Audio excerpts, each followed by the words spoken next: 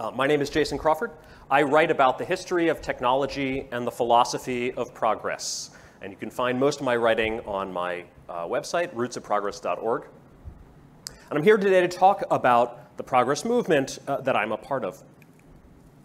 Now, I don't usually talk about myself very much when I speak, but for today's topic, I thought it was appropriate to give um, really a personal story by way of intro. But before I dive into it, I'd like to learn a little bit about you. Raise your hand if you, the first time that you read uh, an Ayn Rand book was at least one year ago. I'm guessing it's going to be most people. Okay, keep your hand up if uh, the first time was at least five years ago. 10 years. Oh, first time ever? Yeah, first time ever. Yeah, right? 20 years. Okay, now keep your hand up if the first time you read an Ayn Rand book was at least 30 years ago. Yeah, Gina. You're okay, great. This, uh, yeah, okay, a good, a good handful. Okay, you can put your hands down now. So all of you with your hands up at the end are the only ones who've been in this longer than me. What, what about 40 and 50? Sorry, yeah. you can, can show off later. Um, so I, I first read The Fountainhead and Atlas Shrugged 30 years ago, in 1992. I was 12. Uh, and these books made a deep impression on me. Uh, from Rand, I first learned a deep respect for reason, science, technology, business, industry, capitalism, and for the people who drive these things forward the scientists, the inventors, the entrepreneurs. Also, from Rand, I first learned a deep respect for the power of fundamental ideas, especially the power of philosophy. I fell in love with philosophy as a teenager, uh, but I was really bored by history. I hated history as a subject. I avoided it pretty much whenever I could, certainly in school at least. Um, I took zero history classes in college. Really felt like a waste of time. but I did take philosophy classes, and uh, I ran the local objectivist club at my university. And in my teens and 20s, I had countless hours of discussion, debate, and argument with all sorts of people about uh, politics, philosophy, ideology, and, and all kinds of related topics. And in that time, over those years, I learned a few things. One thing I learned was that uh, avoiding history had been a big mistake. Uh, I needed history to understand the world, whether it was the war on terrorism, or uh, the financial crisis, or uh, healthcare. In all of these issues, if I didn't know where we had come from and how we'd gotten to where we were, uh, I was really at a loss to understand the world or where we should go next. And conversely, learning those things was extremely illuminating. The other thing I realized was, honestly, I just wasn't getting through to people most of the time. You've probably had this experience, right? Anybody who's ever had a conversation with somebody over, over parolex, you just you realize quickly you're very it's very rare that someone actually changes their mind in one of those conversations. So uh, remedying these, well, remedying the first one was straightforward. I won't say it was easy, but it was straightforward. I had to go learn history.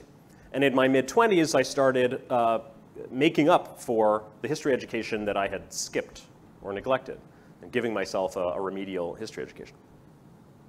The other one was not so straightforward to address, but I decided that instead of getting angry with people for not agreeing with me, or getting frustrated with the whole endeavor and just sort of giving up, that I was going to get curious. And so I decided to start listening more than I talked. To start asking people what they thought more than, or at least as much as I told them what I thought. Um, and I would ask them why they believed that, and why they believed that, and why, peeling back the layers of this onion until we got to really deep fundamental issues. And I tried to build a model in my head, a picture of someone else's worldview and you know, how they understood the world, how they looked at the world.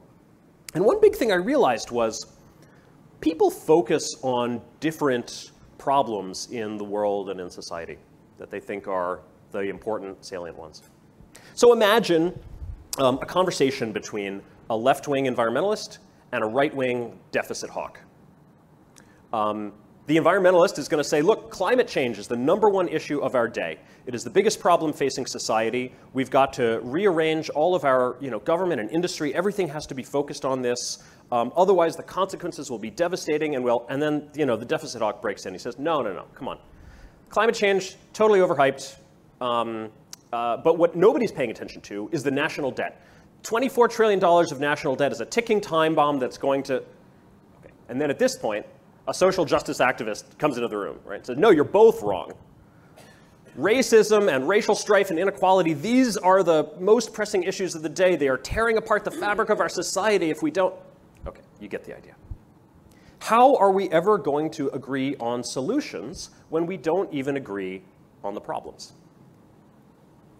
So, this led me to ask myself well, what problems do I care about? What problems and what opportunities? And why do I care so deeply about reason, science, technology, industry, capitalism? Um, why do these things matter to me? Why do I want to talk to people about them? Why do I want to keep learning about them? Why is it central to my worldview? And I realized that uh, a major part of the foundation for this was a keen appreciation of the story of human progress understanding how dramatically economic production and living standards had changed in the last couple hundred years, and how little they changed in all of the tens of thousands of years before that. How most people just a couple hundred years ago lived in what today would be considered extreme poverty, and how lucky we were to be born at the time when we were born. And so, the more I thought about this, the more I began to see the history of progress as a key part of the validation of the Enlightenment and its core ideas, such as reason and liberty. And so I thought to myself, well, if the story of progress is that core to my worldview, I should really understand it better. I mean, I should learn what that, how that actually happened. I should go study the details. I should be able to tell the story. I should be able to, I, I mean, I should learn, like, what, what really was the Industrial Revolution? Now, my understanding of this five years ago was quite thin. It was very weak. It was sort of like, well, it was that time with trains and steam engines and stuff. Uh, steel, I think. There was some steel and cotton something or other. You know, but I, I don't think I could have said much more than that. That's not enough. Not if you're going to say the Industrial Revolution was one of the greatest things ever to happen in history, and we should pay attention to what caused that and make sure our society continues to be innovative like that. You know, if you're going to make an argument like that, you should know what you're talking about. So I started uh, reading. Uh, this just started by picking up some books and, and trying to read. Um, and so I started kind of with this focus on the Industrial Revolution, but then, very fortuitously, I, uh, I ran across this article in The Atlantic, late 2016, early 2017, under the headline, Progress Isn't Natural, by Joel Mokyr, who's become one of my favorite economic historians. And uh, Mokyr argued in this article and in his book, A Culture of Growth, that uh, the, I, the very idea of progress is actually a relatively new idea, that it didn't exist in most places and times in human history, and that it really arose in the West, uh, roughly between Columbus and Newton, say the 16th and 17th centuries. This is fascinating to me, and uh, I, that clinched it for me. I was not merely going to study the Industrial Revolution. I was going to study the entire story of human progress. That was my goal. This began as an intellectual hobby, a side project. Um, at first, it really just began as what books am I going to read next? At the time, I was in the tech industry. I was a CEO of a startup. Uh, I was you know, working extremely hard.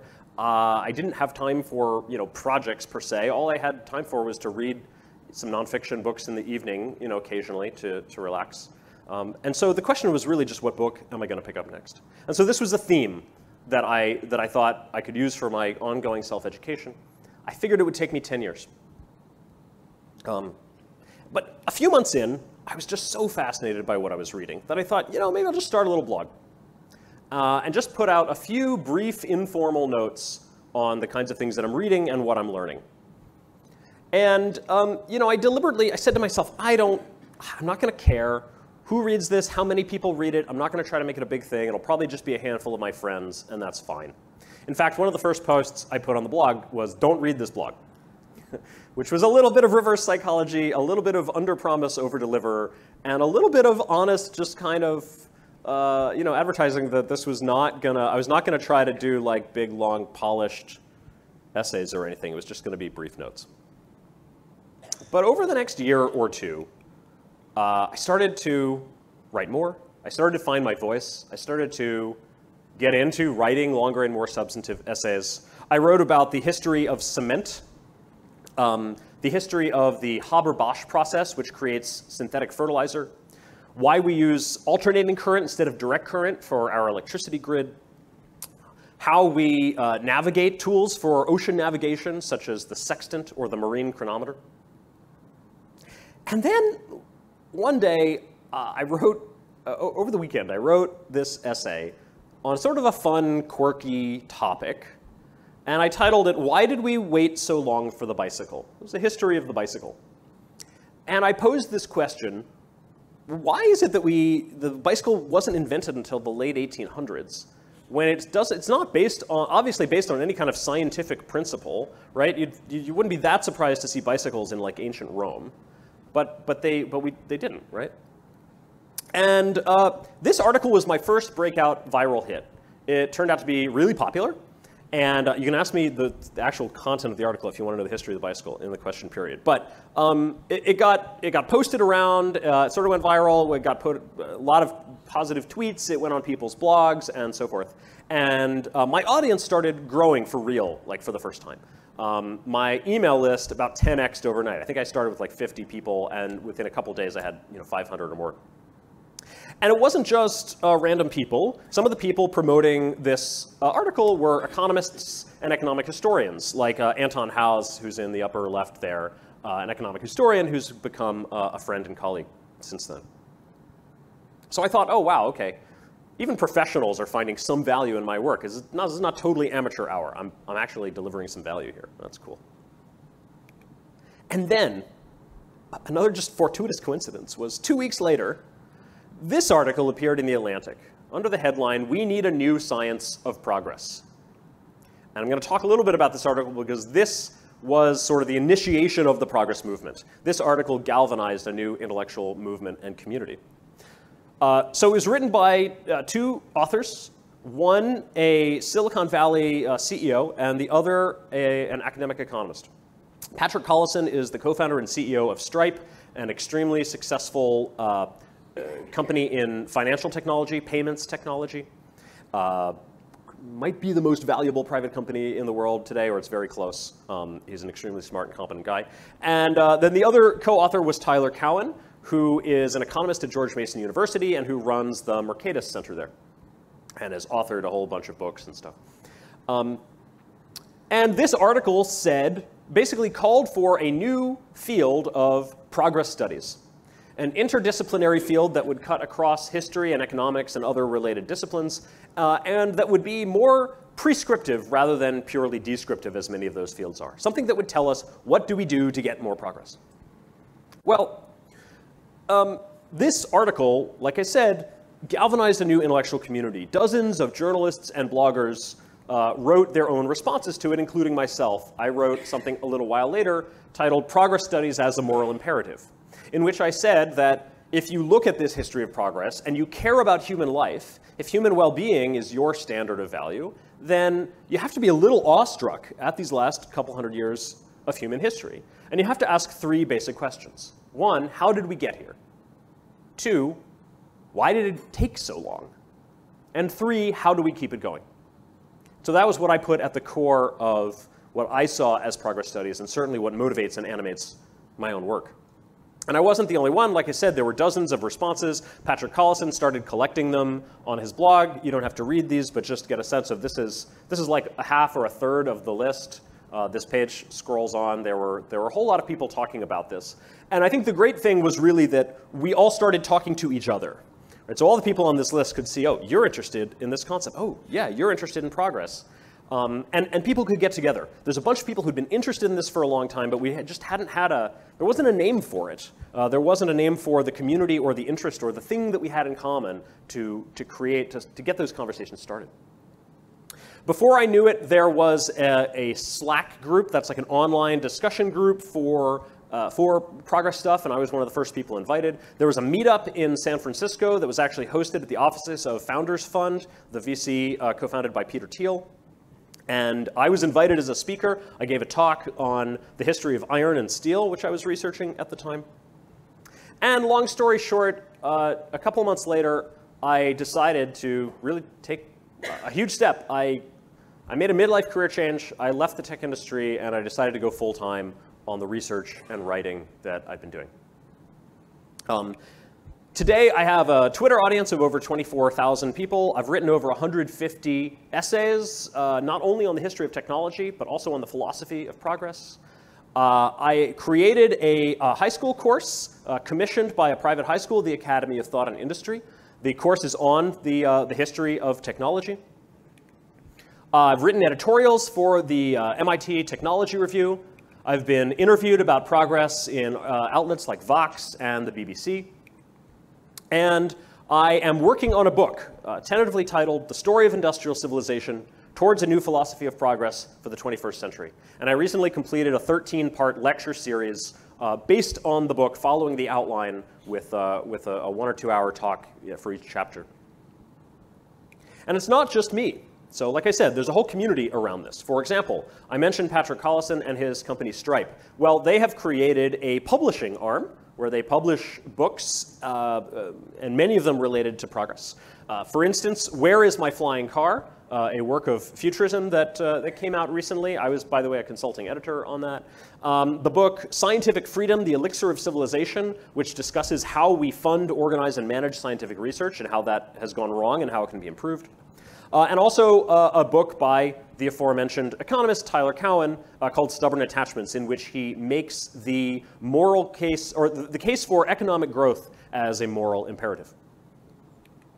There is a quarterly online magazine called Works in Progress that has just started up in the last couple of years with progress studies related writing. I've written uh, for them. They have a lot of good articles. Recommend it. There is New Things Under the Sun, which describes itself as a living literature review of uh, social science research in innova- about innovation, uh, basically the, the economics of innovation. And this is a great resource if you want to understand what, uh, what the uh, field of economics has figured out about uh, innovation, invention, and, and economic growth. There is a recently launched DC policy think tank called the Institute for Progress, which is exactly what it says on the tin. There's even an effort to revive the World's Fair and to bring back the kind of grand expositions uh, that we saw, you know, from the late 1800s until, you know, at least the 1960s. Uh, if you think of like 1964 in Flushing, Queens, in the 1930s they had them in Chicago and New York, the 1915 Pan American uh, Exposition in San Francisco, those kind of grand, ambitious uh, ex exhibitions of progress and, and a vision of a technological future that we could all live in. I'm excited for this. There is also a, uh, there is funding for projects like this. So in particular, uh, Tyler Cowen and the Mercatus Center have created a fund called Emergent Ventures, a grant and fellowship program. Uh, this fund actually wrote me my very first check when I was going full time and helped me get started. And they've got uh, hundreds of, of, uh, of grantees by now. There's a whole bunch of great bloggers. Here's just a handful of ones that I came up with very quickly.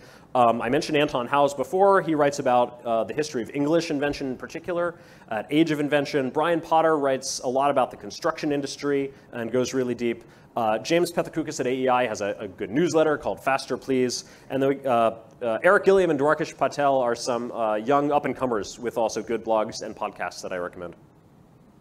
And it's not just the, uh, the bloggers, it's also traditional media is getting into the game. The Atlantic has announced a, uh, an initi- a progress initiative um, to, uh, I took my glasses off, I can barely read this. Um, anyway, check it out, theatlantic.com slash progress. It's about how we, you know, address and solve uh, some of the biggest problems in the world. That is being that initiative is being uh, spearheaded by Derek Thompson at the Atlantic, who's uh, one of my favorite progress journalists.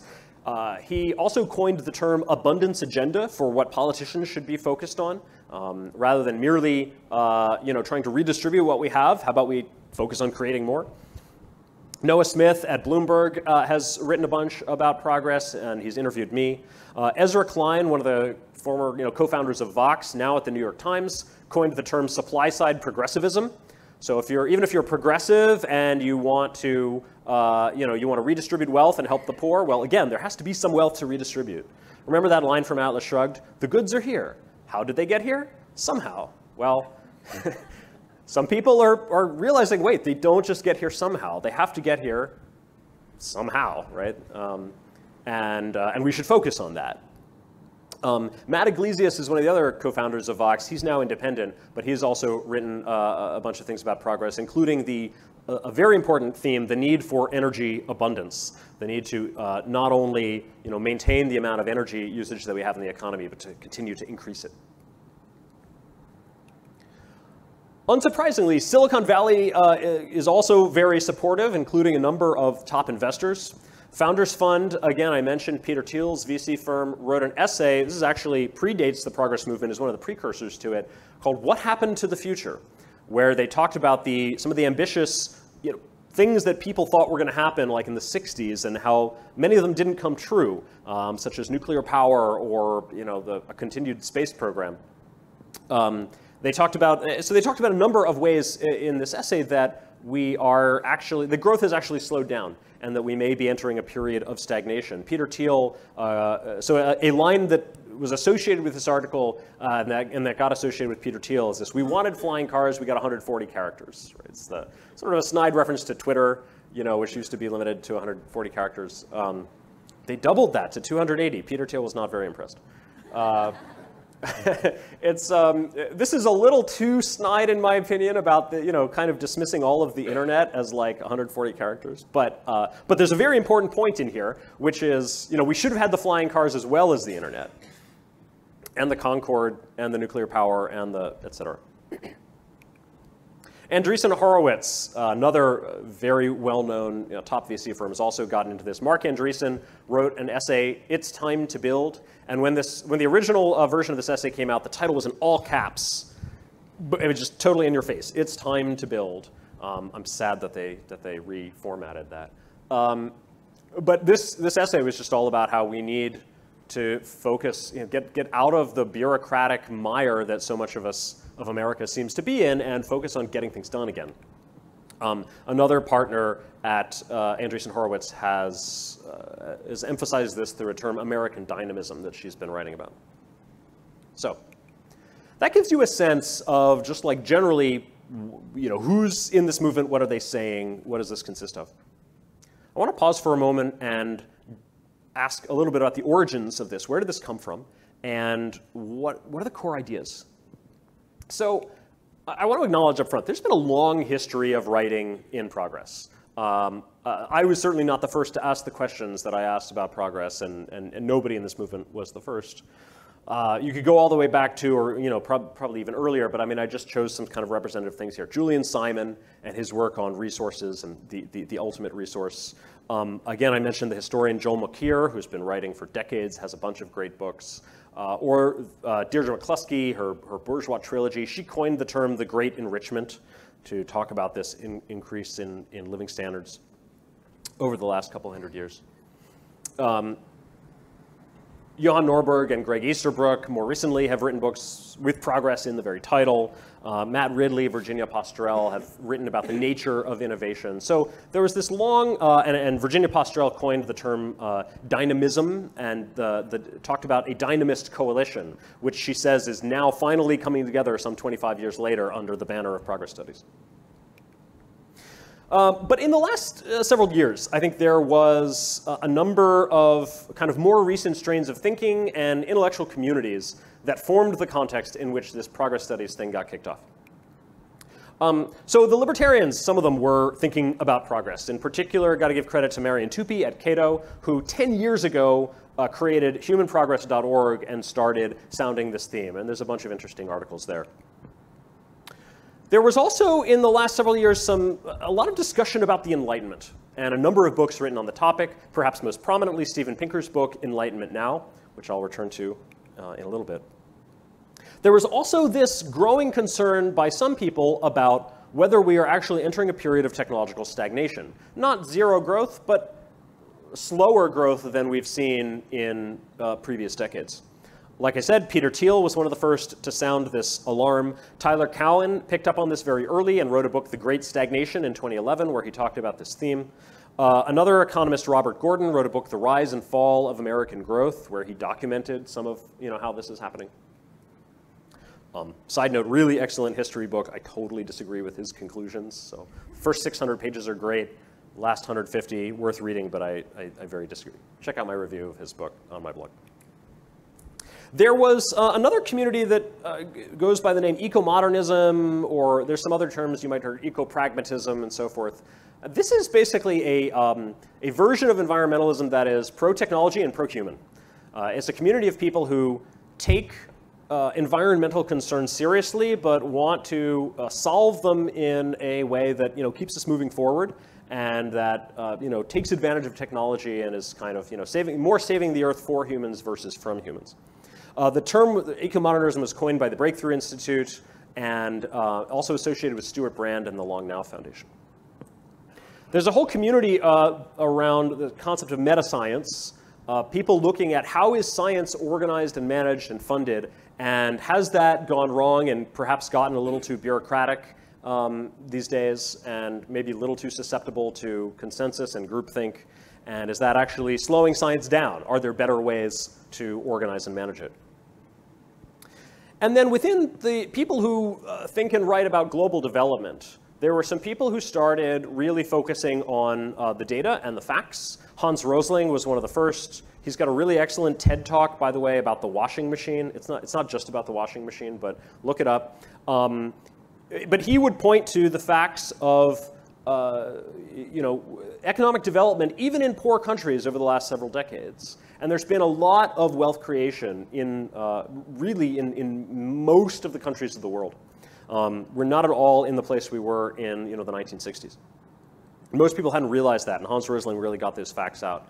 Max Roser is kind of his spiritual successor. Um, started a site called Our World in Data, where uh, he collects and writes about, and his team collect and write about some of the, the same uh, things, um, things like economic growth uh, around the world, um, who has electricity, who has clean water, who's getting vaccinated, um, who, uh, who can read, right, literacy rates, and so forth. And when you look at the data, almost all of the stories are actually quite positive. The trends are in a good direction. One reason why I think a lot of this, you know, people have been focusing more on this in recent years is that if you buy into a declinist narrative, if you think the world is going to hell, then it's very natural to blame the fundamental institutions of modern society, uh, including the government, the university, the media. Now, of course, you can criticize all those things. You can have, I mean, I have beefs with all of those. But, you know, fundamentally, science, the rule of law, uh, media and university institutions, all of these things are sort of fundamentally good, maybe in need of reform. Um, but if you buy into the declinist narrative, then you know, there's a no, it's, it's, very easy to just come to the conclusion we should just burn it all down and to become very nihilistic and to say that we should, you know, if we just razed the structures of modern society to the ground, no matter what replaced it would have to be better. Um, and so I think a number of people have been looking to the history of progress, as I said earlier, as the validation of the core ideas of the Enlightenment. That was really the theme of Steven Pinker's book. Most of this book is about progress, and uh, ultimately he attributes it to um, reason, science, and humanism, which is what he identifies as, as some of the core ideas of the Enlightenment. I think that thesis is fundamentally correct. What are the core ideas of this movement? Right? So what do the people who are coming together and discussing, um, they don't agree on everything. What are some core shared things they have in common? Fundamentally, a conviction that progress is real and important, both historically and also in the future, that progress is something that can continue, not a one-time fluke of history. Also, the recognition that it is not automatic or inevitable.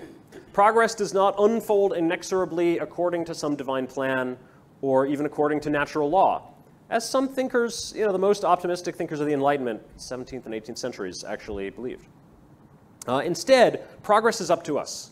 It is up to our effort and choice and agency, we can uh, shape the future and in some way control our destiny. There's also in this community uh, a very empirical mindset, and I say that in the best possible sense of the term, looking to facts, evidence, history, data, case studies in order to understand the world. And there is a long term mindset, a willingness to get all the way to the root causes of progress, and an understanding that these may be found in culture and institutions, and that those things are slow to change, right? So that this could be a very long term, even a generational project. And the conclusion that naturally falls out of this is we should study progress and understand its root causes in order to preserve and protect progress and you know, ultimately maybe even to accelerate it for the good of humanity. I've boiled these things down into really two very core ideas. This is, I would say, about half descriptive and half prescriptive, me trying to focus the movement and, and pointing on what I think the core ideas are and should be. One is humanism, the idea that human well-being is the standard of value and the standard by which we even say that progress exists and is good. And the other is agency, the idea that uh, progress is up to us and that some, in, in some sense the future is up to us, that we are not just helpless, uh, you know, in, in, in the tides, you know, being carried along on the tide of history, that we can shape the future, that we can solve problems. Now, this is a philosophic movement, as I think you can tell. There are some core sort of philosophic premises. But it is not itself a philosophy, of course. It doesn't have its own epistemology and metaphysics and so forth. When I talk about the philosophy of progress, I use that in the same sense as you might talk about the philosophy of science, the philosophy of law, you know, and so forth. So, you know, as I said, we don't agree on everything. So some things that we disagree on are the moral foundations of all of this. Um, within the movement, there are a good number of uh, utilitarians who want the sort of the greatest good for the greatest number, and there are, uh, you know, obviously some folks like me who approach it in a more individualist and egoistic uh, way, and so there's an ongoing discussion about that. Related, of course, is political philosophy. There are some, uh, you know, in the movement who are, you know, who maybe would identify as libertarians who say, look, the solution to progress is to get the government out of the way.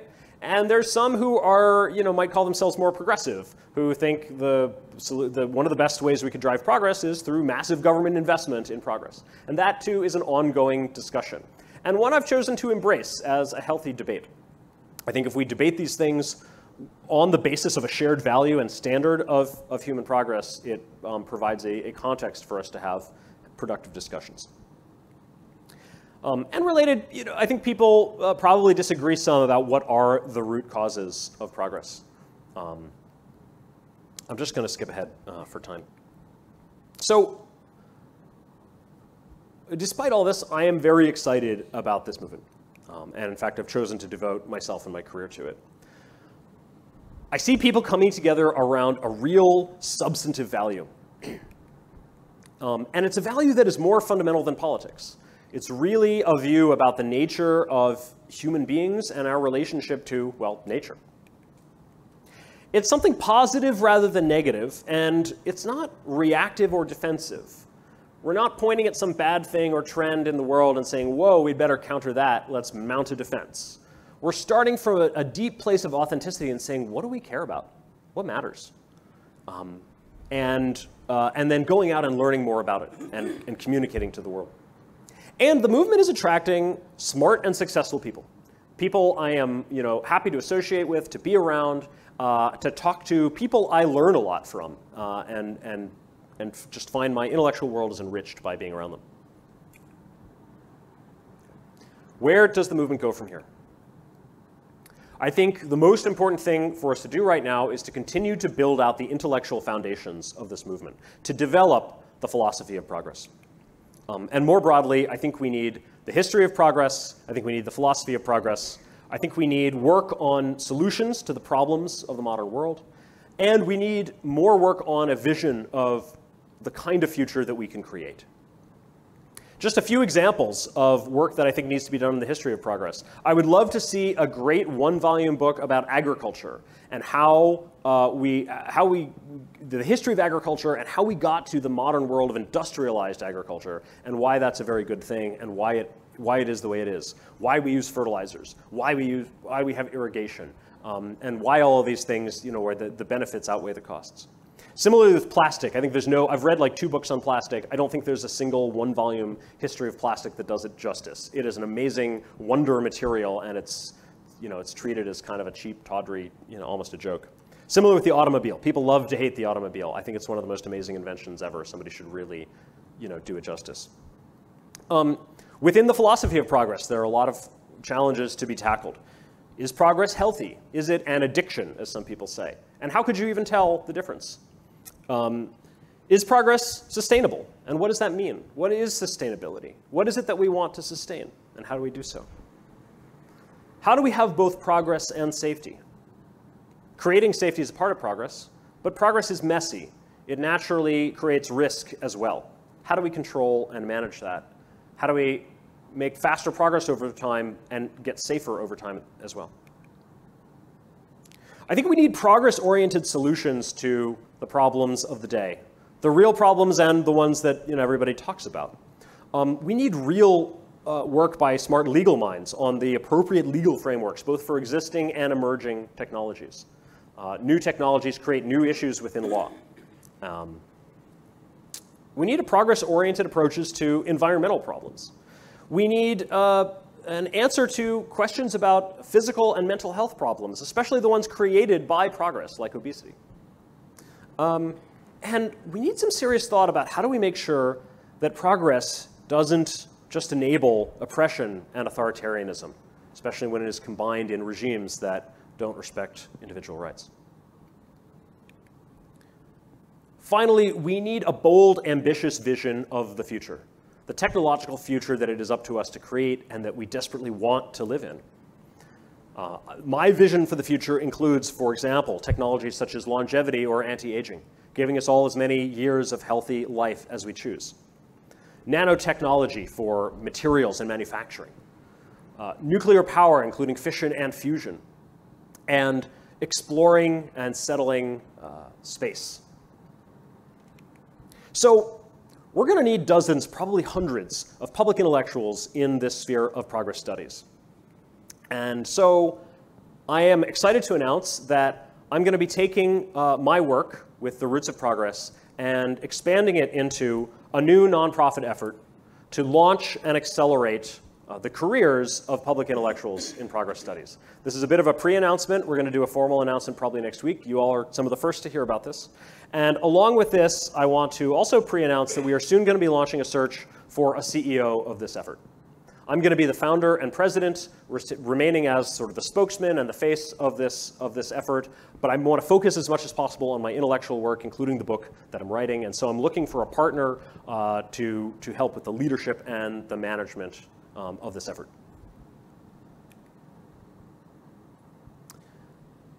In terms of how you can get involved, well, um, depends on who you are. If you're a scientist, an engineer, uh, an entrepreneur, you are already contributing to progress. So keep it up.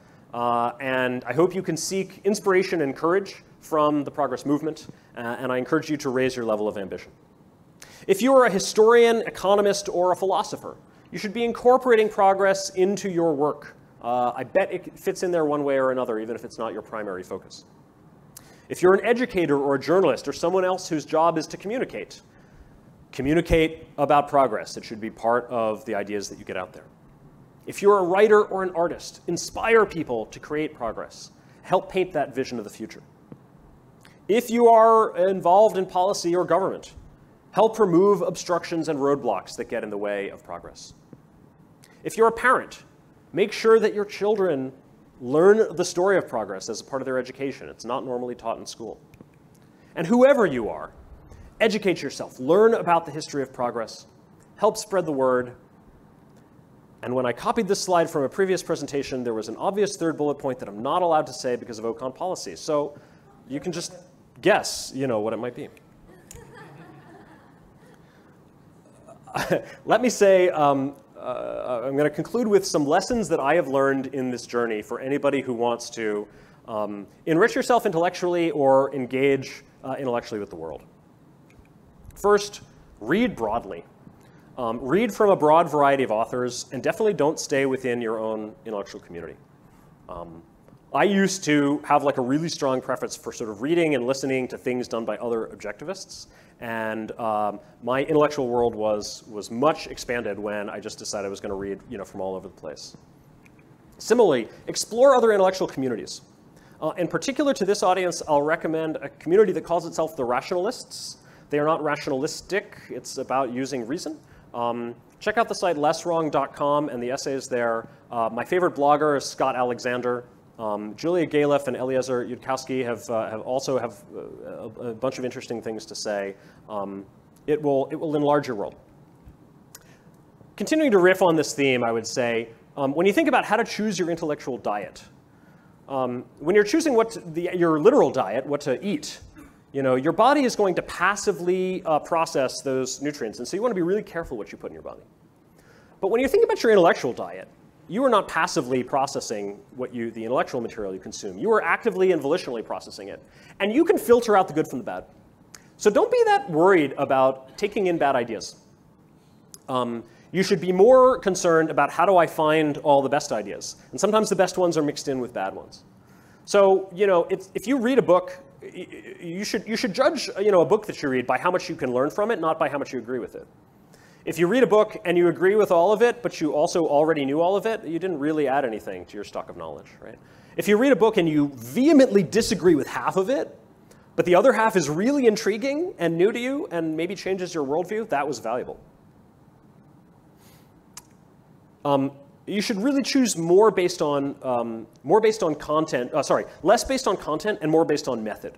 Right? Choose the writers who you think are intelligent, well-read and well-researched, intellectually honest, clarity of exposition, you know that sort of thing, rather than are they saying the right things, right? Or do they agree with the right ideas? Um, I would also say whatever you choose to research, go deep.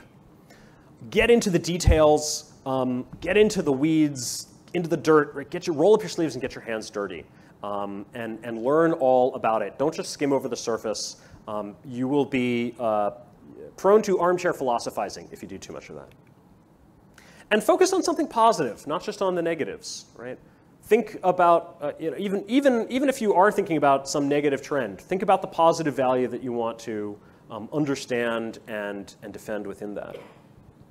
If I put those last points together in sort of a, you can imagine sort of a two by two where the vertical axis here is, you know, affect from negative to positive, and the horizontal axis is concreteness from abstract to concrete. So, you know, if you're in the sort of upper left, uh, you are, uh, you know, that's abstract and positive. Okay, you can get a little fluffy, right? If you're in the other corner, concrete and negative, you're really, you're just kind of complaining.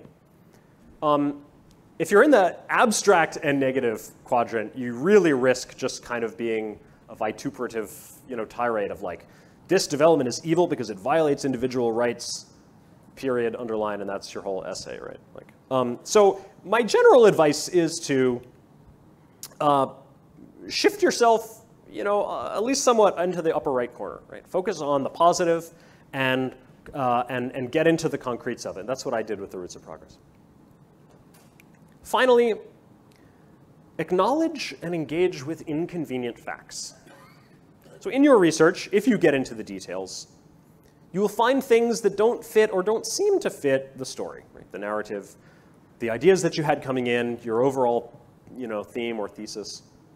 It's really tempting to ignore these, to dismiss them, to sweep them under the rug, to minimize or downplay them, to say they don't really matter or you know, whatever. And um, I encourage you to try to, with, with full intellectual honesty and courage, just embrace the facts. If they seem to be important, you know, really dig into them. Um, it might, you, you might just emerge with a more refined and nuanced kind of version of the idea you went in with. It might actually change your mind. Either way, no matter what happens, you will come out better for it. You know, more in touch with reality and closer to the truth. My final words, I just want to uh, give a, a broader perspective on why I'm hopeful and excited about this movement. One of the most important inflection points in human history was the beginning of the 1600s uh, and the beginning of the scientific revolution particularly when philosophers such as Francis Bacon started really um, understanding what was going on here and identifying it explicitly. Bacon knew the power of people's ideas about progress to affect progress itself. In his famous work, Novum Organum, he said that the greatest obstacle to progress is that men despair and think things impossible. And he was there to tell people that there was indeed an enormous amount of opportunity in the world. Bacon and his contemporaries had only a handful of examples to look at the voyages of discovery and the new continents that they uncovered, the discovery of magnets and the invention of the compass, gunpowder, the printing press. And from these small handful of examples, they extrapolated out to a vision of a scientific and industrial revolution, a vision that they, stayed, they and their descendants stayed true to for 200 years before seeing it come into fruition.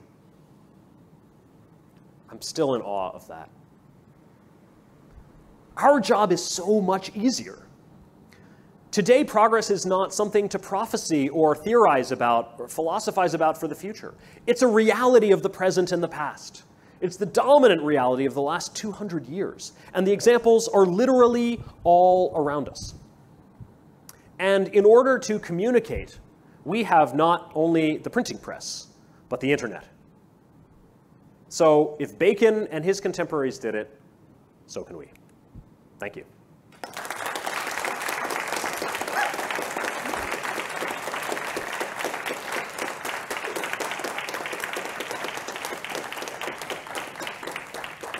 Now, how much, how I know I went a little over. How much time do we have for questions? You have 12 minutes. Okay.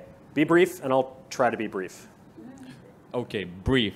That will be hard. So in the science, uh, in the progress movement, there is a huge disagreement. I think uh, scholarly disagreement about the role of science, and especially like abstract science, and then that tweaking and artisan, like let's say industrial uh, revolution, some put more importance on artisans and just tweaking without actually knowing anything about Bacon, yep. Newton, or whatever.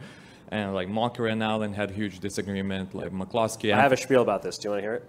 Sorry? I, I, have a spiel, but I know the topic. Do you want to hear what I say on this topic? Uh, probably. Okay, yeah, I just want to.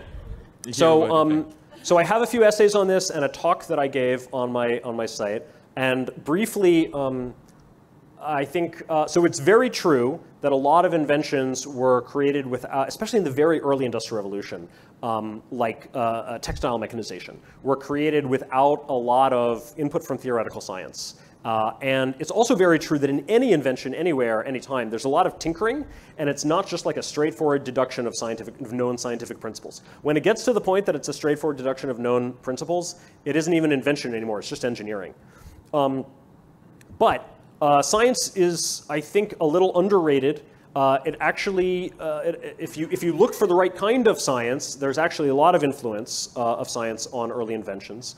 Um, and uh, there's also a, uh, an influence of scientific method even on the tinkerers who are engineering. Um, there was an, uh, a, through science, uh, there was a, a, method of system, making systematic and quantitative observations, which engineers like John Smeaton did in the 1700s, um, you know, when he was uh, experimenting, improving water wheels or steam engines or making, uh, uh, finding the best types of cement. He went through a very methodical process, and he was explicitly motivated by Isaac Newton and his achievements. Um, uh, more broadly, I think it's a mistake to think about science and invention as two separate things that were going on. I think they were really part of a broader enlightenment and uh, project to, and even pre-enlightenment project to collect useful knowledge, to systematize it, to communicate it, and to, and to make use of it. And um, it's natural when people began to do this that that knowledge was in isolated pockets, like some theory, some scientific theory here, some inventions there. And over time, as that web of knowledge grew, it, it, it was able to be connected, and scientific principles could apply directly to invention, which you see very strongly by the end of the 19th century. That's my brief summary. We have a question from the chat. Sure. Can you comment on whether your organization will be consistent in its moral foundations, moral fundamentals, or whether it will be sort of broad umbrella like the libertarian movement? Neither. so my work, my personal work, I try to be consistent to what I believe about moral fundamentals. Um, when, uh, when we are uh, funding the work of other progress intellectuals, um, I don't intend to hold them to a particular moral approach. I'm interested in hearing from people I think are intelligent and intellectually honest and have interesting things to say. That doesn't mean that I think they're all right. It just means that I'm, I'm willing to fund people I don't completely agree with right? and, and, and have some disagreements and have a, an ongoing debate about that. Thanks for your talk. I really appreciated it. Um, quick question: If you were to map out sort of the area of influence that you want to have in the in this space versus what you sort of happily dedicate to others because you think they're doing a great job, versus things that you think are not covered and need work, like how how, would you position what you want to achieve? relative to what others are doing. Does that make any sense? Because there's a lot of actors, but I, Yeah. it wasn't clear to me who was doing what. What I personally am focusing on is um, the history, telling the story of progress, and beginning to develop the philosophy of progress. Um, and I think I can contribute greatly to both of those. Um, there's a lot of specialized topics that I think I'll probably end up leaving for others. Um, I mentioned like this, like I've done very little on the history of construction. There's a guy who writes a great blog about the history and the present of construction. Um, those are some examples. So there's, a, I mean, I listed uh, like a whole bunch of topics for intellectual work, and I won't be able to go into most of them because each one could you could devote a whole career to. Um, I don't know if that answers the question. Yeah, thanks. Very illuminating, thank you. So, doubling down on intellectual work, I hope I can, um, you can entertain a meta question. You are growing your career. You, you've, you've left uh, the work of creating products and services for the work of creating intellectual ideas and thought. And I know that uh, as objectivists, we're, we're interested in the free market economy and, you know, this whole idea of a nonprofit and ARI being one. You know, where does, how do you, you've made a journey of creating a, um, a living this way. What are your thoughts about um, the work of being an intellectual and funding it in a way that's consistent with objectivism? Yeah, great question. So I wrote an essay on this website oh, in which I said that anything that can be for profit should be. And then I went and created a nonprofit. So um, why did I do that? Partly just because there's a lot of funding available to, to get my work going, and it just made sense. Um, but uh, my plan is that um, no public intellectual, including myself, will um, uh, exist within this nonprofit organization forever. The goal of uh, our programs will be to uh, launch and accelerate and spin you out, and for you, for each intellectual to find their own path and way of supporting themselves. That could be through, you know, book sales and speaking fees. It could be through consulting, uh, a consulting business. It could be that they go get a job in academia or with some other, uh, you know, research institute, et cetera. But we want people to find ways to become independent, and I think that is sort of the, um, you know, the equivalent of a for-profit business needing to make it on its own by you know, making a profit uh, by producing you know, products that people will pay you for. As an intellectual, people should be willing to pay you for your product, just like any business, right? So I want people to prove themselves that way, including myself. Hi, Jason. I just want to say for the record, this is my favorite talk of OCON Aw. 2022. I'm telling you. This is, uh, You're too kind. Uh, no, no, I'm just being totally objective. So um, Today's your first day, right? You just showed up. You just showed up today, and this is the first talk you went to. I'm not. Best A, I'm so not far. a plant, and Okay, uh, seriously. Um, so I just wanted to, and I, I want to talk to you afterwards because Sure. I work at a place that I'd love to have your materials to put be put in front of. Okay, so. Um, I mean, in terms of morality, and um, I know in objectivism we focus on altruism as evil, as you know, this is what's wrong with it, this is what's going to happen, it's going to lead to disaster a lot of people also, in, in, well, Ayn Rand talked about um, altruism and the virtue of selfishness um, as basically a, a half-baked morality, just a fraction of morality. It's only going to answer the question, who benefits? Um, so you could, um, somebody could, uh, take the idea of rational egoism and say this is a progress approach to morality. Well, we've talked because you know, when, like for instance, reading Steven Pinker, you know, he ends up coming.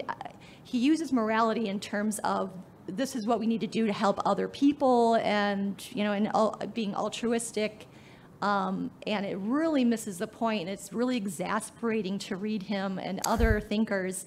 And you can you can say, you know, rational egoism is a progress approach. You know, we've talked about morality as something that is is just answering one question, but we have all these other questions to answer, and here's a new approach, everybody. you know, so. Yeah. I would, um, so right now I'm focusing on the progress in technology and industry. Someday I would love to turn my focus to progress in morality and society. And uh, I'd love to write a book on that. And I suspect that a theme of that overall would be increasing individualism um, in society over time. Um, and some of these themes are unpopular, uh, like you know the nuclear family, right? People not living in generational households, but le- actually leaving home and not living with their parents as adults. You know, um, that's controversial, but like I think that's a very good thing. Um, and in general, I think one of the benefits of um, and it's related to material progress, is that we just have more ability to choose our values in life. We have more ability to, these days than ever before, to choose what career we do, where we live, uh, who we marry, if anybody, you know, and when we do so, uh, whether to have children and how many to have and when to have them. Um, so all of these things are, are much more a choice. Um, uh, how we express ourselves in, in fashion and you know all sorts of things. Um, you know, a medieval peasant had almost no choice in any of these things. And uh, today we have an enormous amount, and I think that's a huge um, benefit. And some of that came about through material progress, but obviously also some of it came about through changes in ideas. Okay, I'm getting the two minute sign, so I'll just stop there. Hi, thank you. Um, you've mentioned a little bit about how to justify the moral value of progress by connecting it to human well-being. And I was wondering if there's work done in the progress movement to uh, make this, yeah, step or justificatory process a little bit more explicit. So, what is the way in which progress is a moral value, and what are the different ways in which it supports uh, human well-being? Yeah. Uh, so I actually co-hosted a workshop uh, a few months ago on the moral foundations of progress studies, co-hosted with Greg Salmieri, who's also a speaker here at uh, UT Austin. And we got about 30 people from a, a broad variety of, of, moral approaches. And uh, we had some really interesting discussions. The biggest thing for me that came out of that was a, uh, a focus on the concept of human well-being and on different theories of well-being. It turns out within uh, ethical philosophy, right, within the field, there are many competing theories about what is human well-being and what does it consist of. Is it just happiness? Is it um, some uh, list of things that are just good for you because they're just good, you know, and it's for your own good, damn it, right? Is it something in between, some notion of uh, value fulfillment? Um, and uh, I think I think that's really where it starts because if you understand, depending on how you understand well-being, I think you'll lead to different ideas of what counts as true progress. All right, thank you. Can we squeeze in one? Okay, talk fast. You can, make, you can make it quick. I just, I was curious if you could speak to some of your personal goals. So you talked about the goals of the movement and the work needing to be done, but for you, like, will you have been successful in 20, 30 years if you've had massive impact, if you've changed some of the minds of, you know, the great, the smart people you're working with, if you've gotten to learn a bunch more or answer certain questions? Yeah. And how do you rank those goals for all, I mean, all of those. Um, let me just pick out one that might not be obvious, but I think is really important. If there is a single narrow audience that I could reach, I want to reach the scientists and the engineers, the inventors, the founders who are actually creating progress. And I want them to know that their work has moral meaning and that they are engaged in a noble quest, part of the grand story of human progress to, to better the human condition. And I want them to take inspiration and courage from that. So if I can, you know, like the best thing, um, the best thing in the world would be in 20 or 30 years, somebody has cured aging or has, you know, um, has, has created the first working fusion energy plant or something, and they come to me and they say, when I was 19 years old, I read your book and it set me off in this course in life. That would break my heart and would be the most wonderful thing. So, thank you. Ditto.